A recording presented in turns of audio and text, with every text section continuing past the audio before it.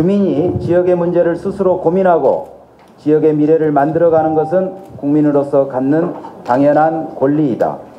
헌법상 국민의 기본적인 권리로 평등권, 자유권, 청구권, 참정권이 보장되어 있듯 자치권 역시 국민의 기본권으로 자리 잡도록 하는 것이 마땅하다.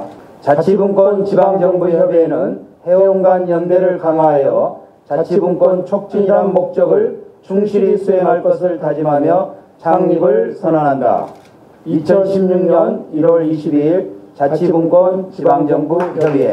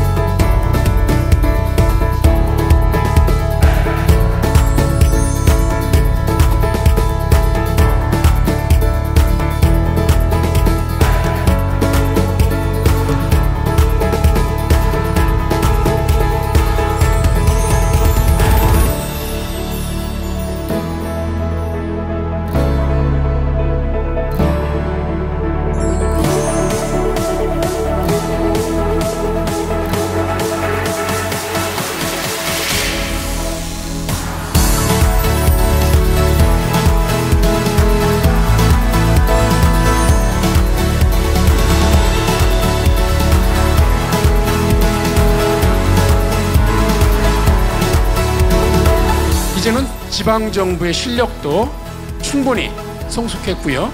그래서 주민과 가장 가까이에서 영향을 미치고 필요한 것을 가장 잘 알고 대응할 수 있는 지방정부. 결국 각 지방정부는 다양한 그릇에 지방의 삶을 담아야 된다고 생각합니다. 자치분권 지방정부협의회가 이 자치분권 대학을 운영하는 목적, 시민의 삶의 질을 높이고 시민 참여를 활성화하는 방향, 지방 공무원의 자치분권 역량 강화를 통해서 시민 사회로 전이될 수 있도록 하는 교육을 해야 되겠다.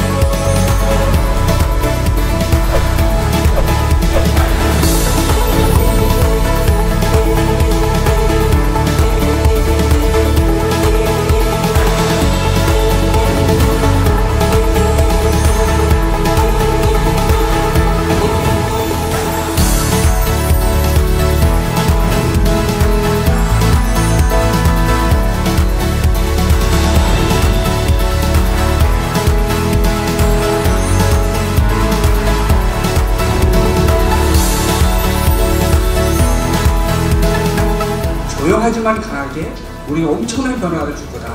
자치분권이라는 단어의 뜻도 잘 몰랐고 무관심했었던 사회와 정치에 관심을 갖게 되었던 계기가 된 것 같습니다. 우리가 주인의식을 더 가지게끔 해주는 데 대한 힘을 더 주셔가지고 우리 스스로 질문을 할 수 있게끔 이 사회가 느끼는 문제점이 뭔가를 다시 한번 생각하게 하는 그런 계기가 된 좋은 수업이었다고 생각합니다. 예, 결국 사람이 희망이더라. 이 자치분권대학에 오셨던 그 많은 수강생들의 눈빛을 보았을 때에 이것이 2년, 3년, 5년이 되었을 때는 아주 혁신적인 결과물로서 나타날 것 같다는 앞으로 지방 분권을 위해서 함께 해주시길 부탁드리겠습니다.